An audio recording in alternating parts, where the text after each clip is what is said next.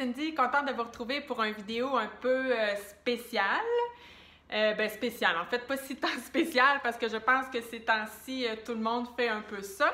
Mais j'avais envie, moi aussi, de faire une vidéo palmarès, mon vidéo, mon top 5 lectures de 2019. Euh, ce ne sont pas des livres qui sont sortis en 2019, mais bien des lectures que moi, j'ai fait en 2019. Euh, pourquoi je fais ça? C'est qu'à la base, moi, j'adore visionner les, vidéos palmarès, que ce soit palmarès musique, livres, vidéos, films, etc. Euh, c'est une formule que j'adore et qui me donne en fait aussi des idées pour 2020. C'est pourquoi j'ai essayé de faire un top 5 assez varié dans les genres pour essayer de rejoindre peut-être le plus de, de gens possible. Il y a un ordre à mon top 5, donc je vais terminer par le numéro 1. Alors, donc, au, top 5, finalement, au numéro 5, c'est ça. Alors, c'est un peu beaucoup à la folie de Liane Moriarty. Pour ceux qui ont vu mes... Euh, la plupart des livres que je vais vous parler aujourd'hui, ce sont des livres pour lesquels j'ai fait une vidéo... Euh, euh, j'ai envie de dire review, mais c'est parce que je, je sais que je le dis tellement mal qu'on dirait que j'ose pas. En tout cas, on va, je vais, m'assumer dans mon, dans mon English. J'ai fait des vidéos review pour la plupart des livres dont je vous parle aujourd'hui, dont lui.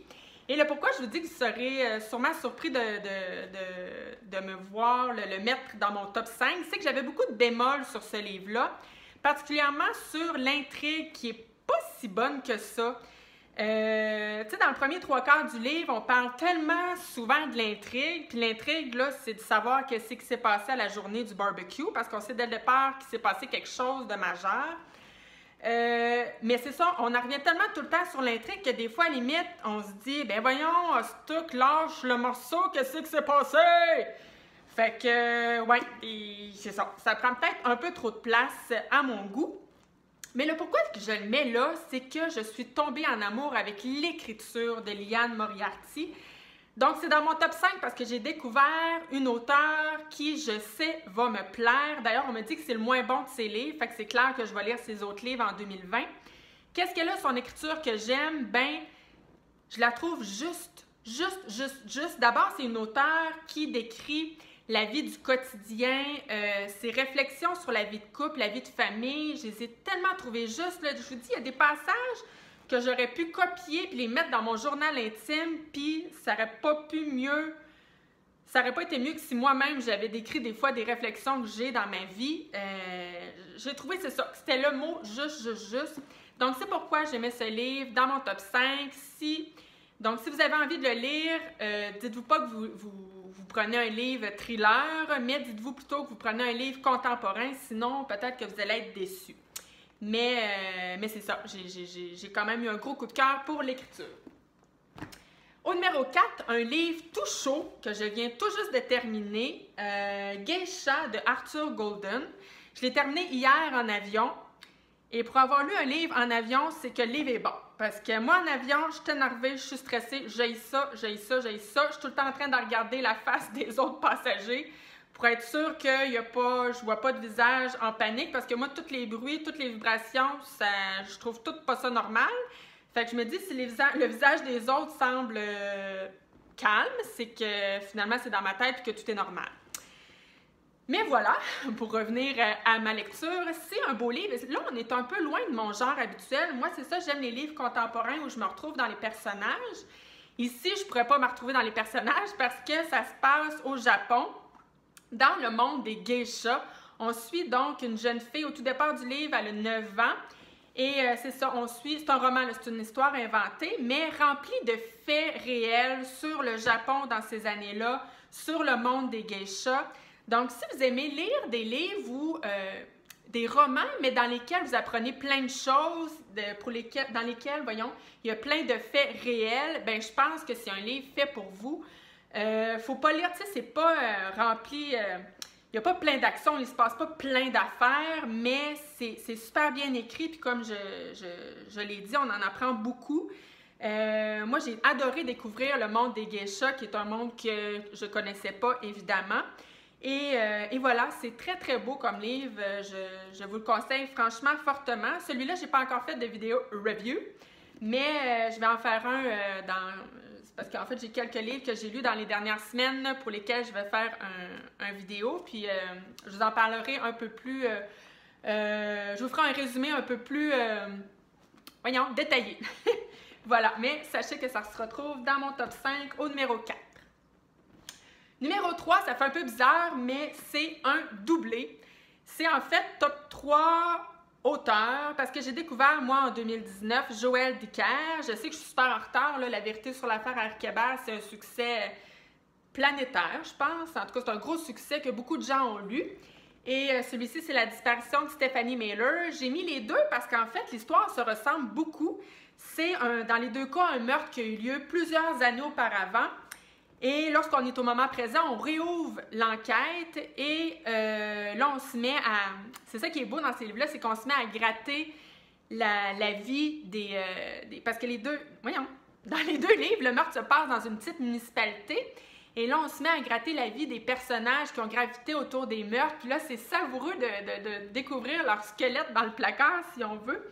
On finit par tous les... Euh, on finit par penser... ils sont tous on, a des soupçons pour chacun d'entre eux. Et euh, même si c'est des livres de plus de 800 pages, il reste que ça se lit super vite parce que c'est vraiment des page turners, sérieux. C'est le genre de livre que tu commences, tu n'es pas capable d'arrêter. Euh, fait que si, tu es amateur de polar, tout comme moi, mais de polar populaire, tu sais, c'est pas des, des, polars horreur ou euh, ni des polars stressants, tu sais, c'est pas « Oh my God, t'as pas de la misère à dormir après avoir lu ça », mais pas tout. Mais c'est juste, juste super bon. Fait que, fait que voilà, si euh, comme moi et tu en retard des fois dans, dans les découvertes, si tu n'as pas encore lu Joël Dicker, ben je te conseille fortement de le faire. Euh, maintenant, top 2, parce que là, quand je disais que je voulais rejoindre plus de gens, c'est pas tout le monde qui aime ça lire des briques de plus de 800 pages. Donc, au top 2, je vous ai mis un petit polar que moi j'ai adoré en 2019. Euh, c'est vraiment un livre que je pense que vous pouvez lire si vous avez un peu de temps, en une journée ou deux. Ça se lit rapidement et dès la page 1, moi, ça a capté mon intérêt dès le départ et ça jusqu'à la fin. Euh, donc, c'est ça, je ne vous, vous, ferai pas un résumé de l'histoire. Si vous voulez avoir le résumé plus détaillé, je vous invite à aller voir mon, vidéo euh, review. moi qui ne voulais pas dire le mot review, je pense que ça fait dix fois que je le dis. Mais, euh, mais c'est ça, c'est un roman, je trouve, justement à ce temps-ci de l'année, c'est le genre de roman que tu lis dans une doudou parce que c'est. Mais ça il fait froid quand tu lis ce livre-là. Ça se passe en Suède en hiver, dans des. Euh, tu sais, on, le sent que c'est glacial. C'est une atmosphère très grise.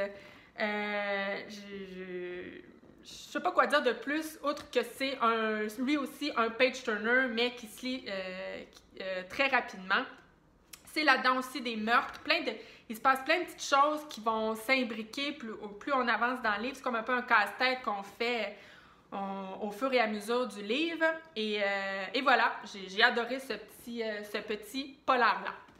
Maintenant, au numéro 1, number one, Changer l'eau des fleurs de Valérie Perrin. Ça, c'est juste tellement beau comme livre. Je ne pouvais pas faire autrement que le mettre dans mon top 5 et au numéro 1 parce que ben, c'est vraiment mon genre de livre.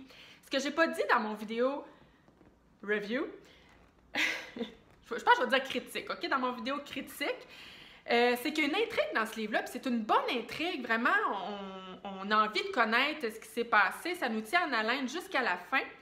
Et autour de cette intrigue-là, il y a aussi des personnages des personnages magnifiques. Et ce qui est spécial dans ce livre-là, c'est que moi, souvent, je suis attirée par les, livres où on s'attache aux personnages, qu'on a presque de la peine de les quitter à la fin du livre, tellement on, tellement on, dirait que c'est quasiment nos amis. Euh, dans ce livre-là, on s'attache pas aux personnages, en tout cas pas dès le départ, parce que c'est pas nécessairement des beaux personnages de prime abord. Euh, Violette Toussaint, c'est une femme renfermée, on la sent triste, et pas, est pas attachante. Son mari, Philippe Toussaint, euh, il est pas fin, c'est pas une belle personne. Mais là, plus avance le livre, parce qu'on part, on, comment dire, on parcourt un peu leur vie, leur cheminement, puis on, on finit par comprendre pourquoi ils sont devenus comme ça. Donc, c'est vraiment magnifiquement bien écrit. Puis c'est ce que je trouvais, ce que je trouvais beau de ces livres-là, c'est justement l'évolution des personnages, mais surtout notre évolution à nous dans notre perception des personnages. Parce que je vous dirais Philippe Toussaint, au départ, comme je vous disais, étant un être pas gentil, je l'aimais pas. Puis à la fin du livre, c'était quasiment mon personnage préféré. Ça excuse pas les choses qu'il fait dans le livre qui sont pas des belles choses, mais il reste que justement d'apprendre à le connaître, apprendre à connaître son passé. Euh, ça, je sais pas, ça finissait par être un personnage que j'appréciais. Et euh, donc voilà, c'est vraiment un beau, beau, beau livre. Moi, ça m'a fait pleurer. Euh, c'est ça, je veux pas en dire trop parce que, comme je vous disais, il y a aussi une intrigue dans ce livre-là puis que je veux pas révéler. Mais, mais c'est ça, c'est venu me chercher beaucoup d'émotions en moi. J'ai juste trouvé ça super beau, donc je vous le conseille très fortement si vous ne l'avez pas lu. Euh, donc euh, voilà, c'était mon top 5 2019. Sachez que je regarde tous les vidéos, moi palmarès, euh, de, tous les, gens, que, tous les booktubers, booktubeuses que je suis et j'apprécie ça beaucoup. J'aime aussi regarder tous vos vidéos et je compte continuer en 2020. Moi, j'ai découvert Booktube en 2019, donc très récemment. Et, et voilà, j'adore ça. Donc, j'ai envie de vous souhaiter une très belle année 2020. La santé d'abord, parce qu'avec la santé, je pense qu'on peut tout faire dans la vie. Mais euh, sinon, euh, ben, je vous souhaite de très belles lectures et euh, ben, tout ce que vous désirez dans la vie. Et sur ça, ben, je le dis à chaque vidéo, mais quand même, si vous avez envie de vous abonner à ma chaîne, ben, ça fait toujours plaisir. Alors voilà, on se dit à la prochaine pour un prochain vidéo, probablement, pas probablement, parce qu'aujourd'hui on est le 31 décembre, certainement en 2020. Donc au plaisir, bye bye!